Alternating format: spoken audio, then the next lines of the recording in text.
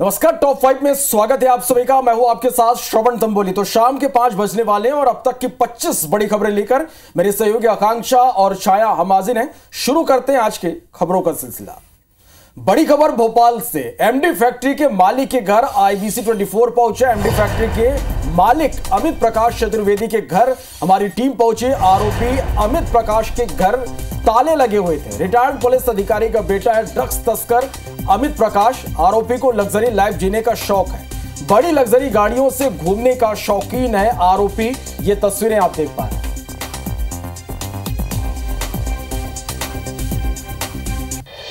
Gujarat ATS ने नशे के सौदागरों के खिलाफ मध्य प्रदेश की राजधानी भोपाल में बड़ी कार्रवाई की है।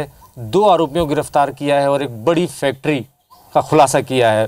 भोपाल के कटारा हिल्स में एक बड़ी फैक्ट्री चल रही थी और जिस आरोपी की, गिरफ्तारी हुई है अमित प्रकाश चतुर्वेदी। ये अमित प्रकाश चतुर्वेदी का ही घर है द्वारिकापुरी में कोटरा सुल्तानाबाद में। और इसी घर में सत्तावन साल के अमित प्रकाश चतुर्वेदी रहा करते थे पूरे परिवार के साथ और दो आरोपी थे, अमित प्रकाश और अमित प्रकाश के अलावा जो दूसरे आरोपी थे, सान्याल बाने। सान्याल बाने महाराष्ट्र के हैं और अमित प्रकाश चतुर्वेदी भोपाल के हैं और द्वारकापुरी के इसी मकान में रहते हैं। एटीएस का दावा है कि जो प्रोडक्ट इनके पास जितना एमडी ड्रग बरामद हुआ है, उसकी बाज़ार की कीमत अट्ठारह करोड़ रुपये है।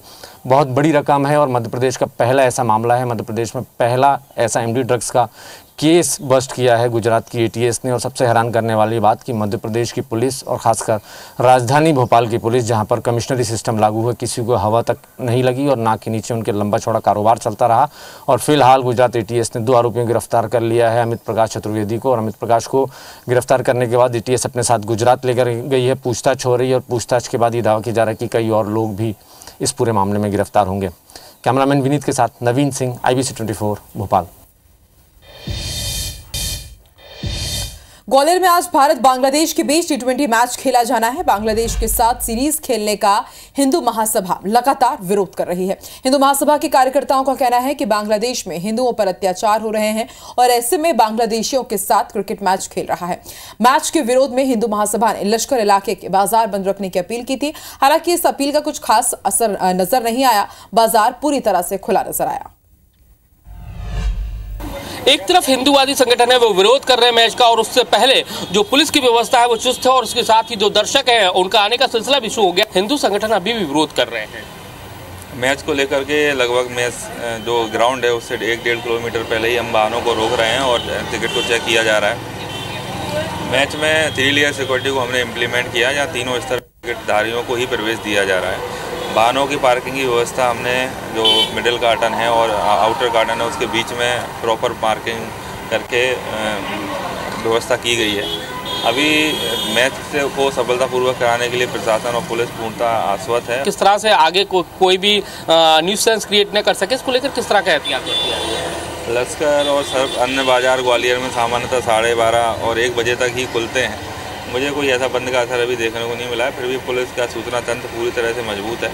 किसी भी तरह के विरोध या किसी भी तरह की ऐसी चीज़ों पर पुलिस तुरंत कार्रवाई करेगी। आप देख सकते हैं कि ग्वालियर पुलिस और प्रशासन पूरी तरह से मुस्तैद और उन्होंने साफ़ कह दिया है कि मैच शांतिपूर्ण तरीके से होगा और उसको लेकर उन्होंने सारे इंतज़ाम हैं, वो पूरे किए हुए और मैच की सुरक्षा की बात करें तो तीन हज़ार से ज़्यादा जवान हैं, उनको तैनात किया गया है कि कोई भी व्यक्ति इस मैच को लेकर न्यूज़ सेंस पैदा ना कर सके। कैमरामैन राजकुमार कुशवाहा के साथ नासिर गौरी आईबीसी 24 ग्वालियर। दिल्ली के छत्रसाल स्टेडियम में आपके राष्ट्रीय संयोजक अरविंद केजरीवाल ने जनता की अदालत को संबोधित किया और कहा कि अब डबल इंजन फेल हो गया, एक इंजन जून में ही खराब हो गया था, जबकि इनकी 240 सीट आई थी। अब दूसरा इंजन एक एक करके जा रहा है। अभी हरियाणा से जा रही है, फिर जम्मू कश्मीर, झारखंड और महाराष्ट्र से जाएगी। लोगों को समझ आ गया कि डबल इंजन मतलब महँगाई, बेरोजगारी और भ्रष्टाचार। इसलिए पूरे देश से इनकी सरकारें जा रही हैं। दिल्ली के चित्रसाल स्टेडियम में जनता की अदालत को मुख्यमंत्री आतिशी ने संबोधित किया। उन्होंने कहा कि 2015 में अरविंद केजरीवाल की सरकार बनने से पहले आठ आठ घंटे के पावर कट दिल्ली में लगा करते थे। महँगे बिजली के बिल आते थे। कच्ची कॉलोनियों में महिलाओं को घंटों तक पानी के टैंकर्स का इंतज़ार करना पड़ता था। सरकारी स्कूल जहाँ आम परिवार या गरीब परिवार के बच्चे जाते थे, अरविंद केजरीवाल वो व्यक्ति थे जिन्होंने एक एक करके दिल्ली वासियों की समस्याओं का समाधान किया। दिल्ली में कल नक्सल प्रभावित राज्यों के मुख्यमंत्रियों की बैठक होगी। केंद्रीय गृह मंत्री अमित शाह बैठक लेंगे और बैठक में आंध्र प्रदेश, बिहार, छत्तीसगढ़ के सीएम शामिल होंगे। उनके साथ मध्य प्रदेश, झारखंड, तेलंगाना के सीएम भी मीटिंग में शामिल होंगे। इस दौरान गृह सचिव, आईबी चीफ और सैनिक बलों के डीजीपी मौजूद रहेंगे और राज्यों के सीएस, डीजीपी और अफसर की उपस्थिति रहेगी। दंतेवाड़ा की नारायणपुर सीमा पर हुई नक्सली मुठभेड़ मामले में 22 नक्सलियों की पहचान हो गई है। नौ नक्सलियों की शिनाख्त की कोशिश जारी है। पुलिस ने पहचान किए गए नक्सलियों की तस्वीरों के साथ एक सूची जारी कर दी। बता दें कि नारायणपुर सीमा पर 31 नक्सली मारे गए थे। इधर नारायणपुर में मारे गए नक्सलियों की तस्वीरें सामने आ गई है। ग्राउंड ज़ीरो से मारे गए नक्सलियों की तस्वीरें सामने आई हैं। तस्वीरों में वर्दी में नक्सली दिखे हैं। दंतेवाड़ा और नारायणपुर सीमा पर मुठभेड़ हुई थी। जवानों ने इकतीस नक्सलियों को मार गिराया था। मालदीव के राष्ट्रपति अपने देश से भारत के लिए रवाना हो चुके हैं। मालदीव के राष्ट्रपति कार्यालय ने सोशल मीडिया प्लेटफॉर्म एक्स पर पोस्ट कर इस बात की जानकारी दी और बताया कि राष्ट्रपति मोहम्मद मुइजू और मालदीव की प्रथम महिला साजिदा मोहम्मद भारत की राजकीय यात्रा पर रवाना हो गए हैं। बता दें कि भारत और मालदीव के बीच संबंध इस वक्त बेहद तनावपूर्ण दौर में है। मालदीव के चीन परस्त राष्ट्रपति मोहम्मद मुइजू ने भारत दौरे से दोनों देशों के रिश्ते बेहतर होने की उम्मीद जताई है। वे यहाँ दस अक्टूबर के दौरे पर आ रहे हैं और इस दौरान मुइजू और पीएम नरेंद्र मोदी के बीच द्विपक्षीय वार्ता भी होगी। इसके बाद उनकी राष्ट्रपति द्रौपदी मुर्मू से भी औपचारिक भेंट होगी। इधर गजापट्टी की एक मस्जिद और स्कूल पर इजरायली हवाई हमले में रविवार तड़के कम से कम 24 लोगों की मौत हो गई और तिरानबे लोग घायल हो गए हैं। फिलिस्तीनी अधिकारियों ने यह जानकारी दी है इसराइल ने ईरान समर्थित आतंकवादी समूहों के खिलाफ युद्ध का दायर बढ़ाते हुए उत्तरी गाजा और दक्षिणी बेरूत में बमबारी तेज कर दी है। इसराइल सात अक्टूबर को हमास के हमले के करीब एक साल बाद भी उससे लड़ रहा है और उसने लेबनान में हिजबुल्ला के खिलाफ नया मोर्चा भी खोल दिया है। इसराइली सेना ने दक्षिणी लेबनान में लोगों को इलाका खाली करने का अलर्ट जारी किया है। दिल्ली पुलिस की क्राइम ब्रांच ने दिल्ली में हथियारों का एक जखीरा पकड़ा। इसमें 16 पिस्टल और हथियार बनाने का रॉ मटेरियल शामिल है। हथियारों के साथ दिल्ली पुलिस ने दो लोगों को हिरासत में लिया है। ये दिल्ली में हथियारों की सप्लाई मेरठ से करते थे और यह बताया जा रहा है कि ये सभी हथियार मेरठ की एक फैक्ट्री से पकड़े गए। यहाँ भारी मात्रा में अवैध हथियार बनाए जा रहे थे। पश्चिम बंगाल के दक्षिण 24 परगना में 10 साल की एक बच्ची की बलात्कार के बाद हत्या की घटना सामने आई। वारदात के बाद गुस्साए लोगों ने पुलिस चौकी में आग लगा दी। भीड़ ने पुलिसकर्मियों पर कार्रवाई में देरी का आरोप लगाकर पथराव भी किया। पुलिस सूत्रों के मुताबिक आरोपी शख्स ने अपना गुनाह कबूल कर लिया है। पूछताछ में आरोपी ने पुलिस को बताया कि वो पिछले दो दिनों से बच्ची को आइसक्रीम खिलाकर बहला फुसला रहा था और उसके बाद वारदात को अंजाम देने के बाद उसे मौत के घाट उतार दिया। মুহূর্তে দেখা যাচ্ছে যে মহিষমারিতে পুলিশ ফাঁড়ির ক্যাম্প সেই ক্যাম্পে উত্তেজিত दिल्ली के विश्वकर्मा नगर में चल रही रामलीला के दौरान अभिनय करते हुए कलाकार की मौत हो गई हार्ट अटैक से मौत होने की आशंका है मृतक की पहचान सुशील कौशिक के रूप में हुई है वो रामलीला के मंच पर अभिनय के दौरान अचानक बेहोश होकर गिर गए इसके बाद आनंद विहार के कैलाश दीपक अस्पताल में उन्हें भर्ती कराया गया जहां डॉक्टर्स ने उन्हें मृत घोषित कर दिया लेफ्टिनेंट एस के कौशिक के बेटे सुशील कौशिक प्रॉपर्टी डीलर थे और राम का किरदार निभा रहे थे मुंबई के चेंबूर इलाके में रविवार तड़के दो मंजिला इमारत में भीषण आग लगने से बड़ा हादसा हो गया। घटना में एक ही परिवार के सात लोगों की मौत हो गई। मृतकों में दो मासूम बच्चे भी शामिल हैं। मौके पर पहुँची फायर ब्रिगेड की गाड़ियों ने आग पर काबू पाया। स्थानीय लोगों ने बताया कि किसी को कुछ समझने का मौका ही नहीं मिला। स्लम एरिया होने के, आ, के कारण एग्जिट का कोई रास्ता नहीं था और परिवार ऊपर ही फंसा रहा। राजस्थान के दौसा में बेलागाम डंपर ने 10 लोगों को रौन दिया। हादसे में चार लोगों की मौके पर मौत हो गई, छह लोग गंभीर रूप से घायल हुए। वहीं घटना के बाद भीड़ ने डंपर ड्राइवर के साथ मारपीट की, पुलिस ने ड्राइवर को हिरासत में ले लिया है। सड़क हादसे की खबर है, सीधी में कुबरे के पास ट्रक ने बाइक को टक्कर मार दी। हादसे में बाइक सवार तीन लोगों की मौत हो गई। बाइक सवार बहरी बाज़ार से गजरी जा रहे थे। उत्तर प्रदेश के बहराइच में महिला समेत दस मासूमों को निवाला बनाने वाले भेड़िए को ग्रामीणों ने पीट पीट कर मार डाला। बहराइच के महसी तहसील के तमाजपुर गाँव में ये भेड़िया बकरी का दरअसल शिकार करने पहुँचा था, जहाँ ग्रामीणों ने भेड़ियों को पकड़ लिया और उसे मार डाला। ये भेड़िया लगभग तीन महीने से आतंक का पर्याय बना हुआ था। इसके छह सदस्य की झुंड ने पूरे इलाके में आतंक फैला रखा था। पाँच भेड़ियों को पहले ही वन विभाग पकड़ चुका है और अब छठे भेड़िए को ग्रामीणों ने पीट पीट कर मौत के घाट उतार दिया। तो वहीं रायबरेली में मामूली कहासुनी से नाराज़ तीन दबंगों ने पीट पीट कर युवक की हत्या कर दी। बदमाश युवक को अधमरा कर मौके से बदमाश फरार हो गए। स्थानीय लोगों ने घायल युवक को अस्पताल पहुँचाया। अस्पताल में इलाज के दौरान युवक की मौत हो गई। टीकमगढ़ में एक युवक के साथ बेरहमी से मारपीट की गई। पीड़ित ने वेतन मांगने पर शराब कंपनी के ठेकेदार पर मारपीट का आरोप लगाया और देहात थाने में एफआईआर दर्ज कराई। घटना का वीडियो अब वायरल हो रहा राजधानी रायपुर के डीडी नगर इलाके में एक युवक की चाकू मारकर हत्या कर दी गई है। आरोपी के बाइक से गिरने पर युवक ने टिप्पणी की थी। टिप्पणी करने पर आरोपियों ने युवक को चाकू मार दिया। इलाज के दौरान अस्पताल में युवक की मौत हो गई। वहीं पुलिस ने एक नाबालिग समेत चार आरोपियों को गिरफ़्तार कर लिया है। वाड्रफनगर के तोरफा गाँव में घर के सामने से 10 साल का बच्चा लापता हो गया। परिजनों ने बच्चे की अपहरण की आशंका जताई है।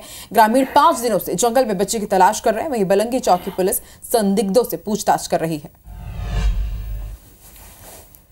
छतरपुर के सदना गाँव में अवैध शराब बेचने वालों पर आबकारी विभाग की टीम ने बड़ी कार्रवाई की है। कार्रवाई के दौरान आबकारी टीम के साथ आरोपियों ने जुमा झटकी भी की है और इस दौरान आबकारी विभाग ने दो पेटियों से सैंतीस से ज़्यादा लीटर शराब जब्त की है। खबर इंदौर से, यहाँ बदमाश फिर से पुलिस को खुलेआम चुनौती देते हुए नज़र आ रहे हैं। दोनों हाथों में आप देखिए किस तरह से बदमाश चाकू लेकर लहरा रहा है। चाकू लेकर जुलूस में डांस करते हुए युवक का वीडियो सामने आया और वीडियो सामने आने के बाद युवक की तलाश में अब पुलिस जुटी हुई है। विजयनगर थाना क्षेत्र का ये वीडियो है।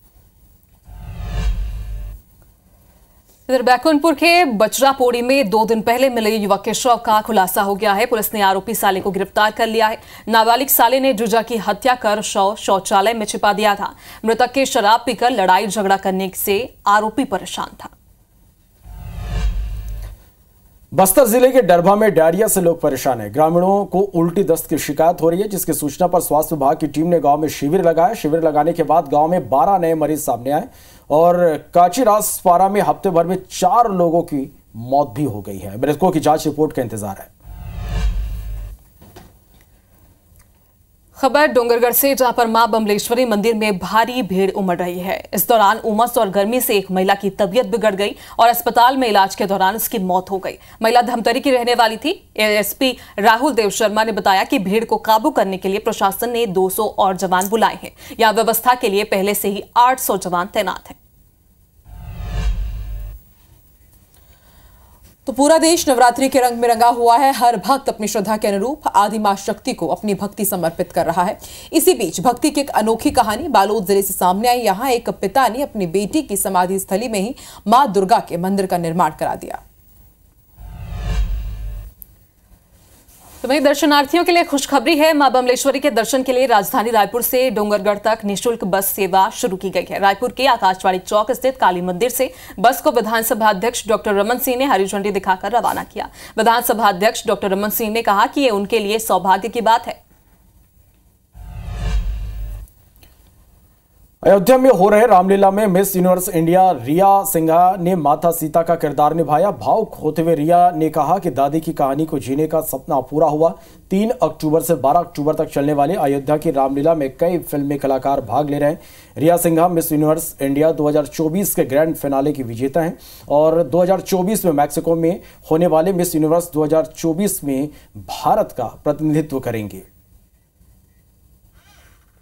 मुझे ऐसा नहीं हो महसूस होगा कि मैं एक्टिंग कर रही हूँ। मुझे ऐसा नहीं लगता मैं किसी और का किरदार निभा रही हूँ, क्योंकि माता सीता ही मुझे लगता है मेरे पास आए और मुझे ये उनकी ही चीज़ें उन्होंने मुझे सिखाई। थोड़ी दिनों में मैं इंडिया को रिप्रेजेंट करने जा रही हूँ मिस यूनिवर्स में। तो इससे ज़्यादा बेहतर और क्या ही हो सकता है। अब आपको इंदौर के सेंट्रल जेल की एक तस्वीर दिखाते हैं। इंदौर के सेंट्रल जेल में कैदी गरबा कर माँ दुर्गा की आराधना कर रहे हैं। नौ दिनों तक अलग अलग तरह के कार्यक्रम आयोजित किया जा रहे हैं। जेल अधीक्षक अलका सोनकर के मुताबिक 200 कैदियों की चार टीम बनाई गई है। गरबा करने के साथ ही वंदन पूजन और भजन के कार्यक्रम भी किए जा रहे हैं। इस आयोजन से बंदी कैदियों में काफ़ी उत्साह देखने को मिल रहा है। केंद्रीय जेल इंदौर में पिछले वर्ष की तरह, इस वर्ष भी हम लोगों के, ने महिला और पुरुष बंदियों के द्वारा जो माता जी की स्थापना, हमारा समस्त स्टाफ ने की है तो माता जी की आराधना का जो सबसे पवित्र माध्यम माना जाता है, वो गरबे ही है। तीन टीम पुरुष बंदियों की है और दो टीम महिला बंदियों की है, जिनके द्वारा यहाँ पे गरबों का प्रदर्शन किया जा रहा है।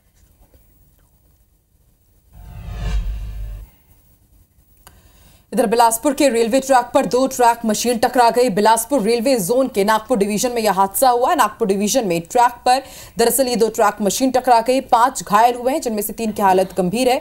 गोंदिया स्टेशन के पास यह हादसा हुआ। तो इसी के साथ फ़िलहाल इस बुलेटिन में इतना ही। लगातार खबरों के अपडेट के लिए आप बने रहिए और देखते रहिए आईबीसी 24 हमें दीजिए इजाज़त। नमस्कार।